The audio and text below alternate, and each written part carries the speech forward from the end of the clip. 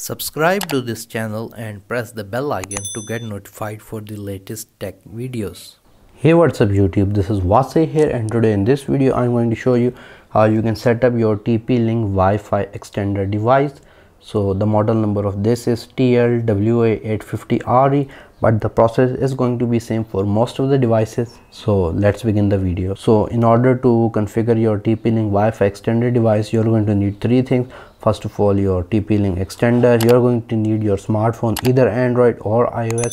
And the last thing is that you need to make sure that for the first time when we're going to set up this device make sure that this device is uh, close to your main Wi-Fi router for which you want to extend the signals and make sure that there isn't any kind of radio interference between the router and the TP-Link device when we're going to set it up. Once set it up then you can move it to any further location where Wi-Fi extension is needed. So here I have my plug I'm going to connect it in. Uh, so we have 220 volts input for uh, first time we're going to wait because the power light is going to blink. We have to wait until the power light becomes solid. Now you can see that the power and the wireless light have become solid. So there are different ways to connect it. You can configure this by going to the IP address provided which is a little complex the more flexible way is using the TP-Link app. So here is the TP-Link app QR code. The app name is Tether. So you can scan the QR code right here or I will put the download link for this app both for iOS and Android in the video description as well. So I'm using an iOS device. The process will be same for Android users as well. Here you can see you're going to have this app TP-Link Tether. So what we're going to do is that make sure that our TP-Link device is on and we're going to open the TP-Link Tether app okay you need to accept the privacy terms and use. We're going to press on continue. So for the first time what you need to do is to make a account for TP-Link so when you're going to do this you need to connect to your home Wi-Fi network and not to the extender because we're going to need Wi-Fi. So I'm just going to make my account right away.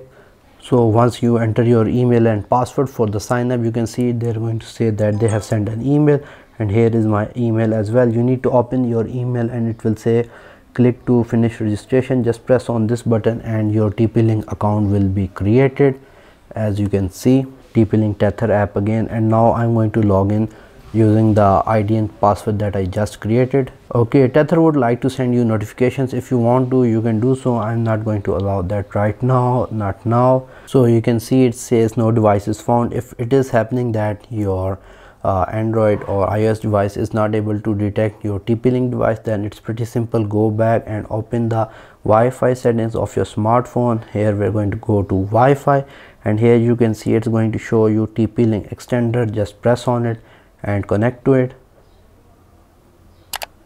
once connected close and go back to your TP-Link Tether app and it should detect it now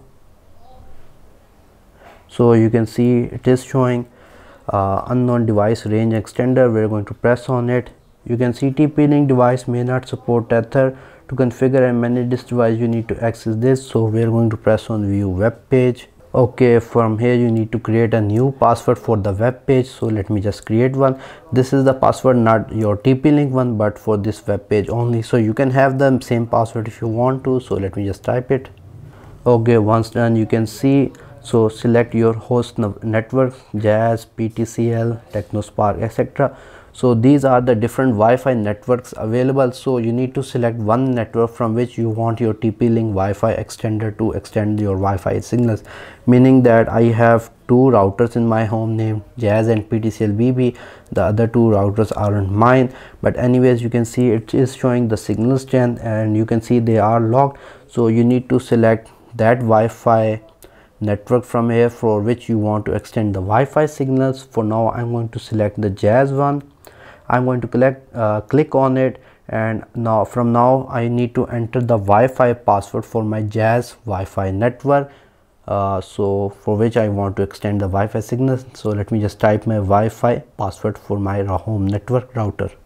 Okay once typed in the password I'm going to press on next you can see it says 2.4 gigahertz host network. Its name is this and its password is this. I'm going to press on confirm. So now it's going to say set the extended name. So now you need to set the name of what you're going to call the Wi-Fi network of this device the TP-Link Wi-Fi extended device. So meaning the extended Wi-Fi signal that will come from it what name you want to give it. So you can give it any name. I'm just going to give it uh, TP-Link extender and in the lower side you can see the password as same. So it says same as your host network. So the password will remain same as you had for your same Wi-Fi. We're going to press on next. And now it's going to apply the settings.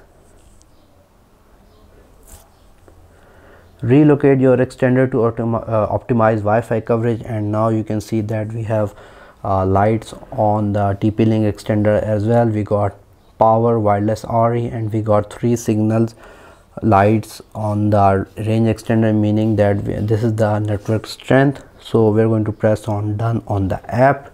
Now connect to the extended network then click finish. Again the name is TP-Link extended and here is the password. We're going to go back open settings. Again on Wi-Fi and here it's going to show you the TP-Link extender Wi-Fi network as well. I'm going to press on it and connect it using the password. After entering the password I'm going to press on join. Again the password for your TP-Link extender will be the same that you set it for your main home router for which you are extending the signals. Okay it has been connected. I'm going to open the Tether app again and you can see we have done I have connected to the extended network and I'm going to press on finish. Okay once the setup is completed you can see on my devices it's going to show the range extender as well. So here if I go to Wi-Fi settings you can see TP-Link's extender is connected. And here if I go and open uh, speed test you can see and get an idea of the speed test as well. So currently how well the uh, router is performing. So we're getting around 6.2 to 6 I would say megabits per second of speed which is not bad uh, seeing that my house network has 15 megabits per second of internet connection. So yeah so means that the Wi-Fi extender is working perfectly all right and we have successfully set it up our TP-Link Wi-Fi extender. And if I zoom in you can see that here on the extender we only got three signals so not very strong signals because it is pretty far away from the router. Anyways guys if you like this video on how to set up your TP-Link Wi-Fi extender like share subscribe. If you have any questions write them in the comment section below. Other than that thank you for watching and stay safe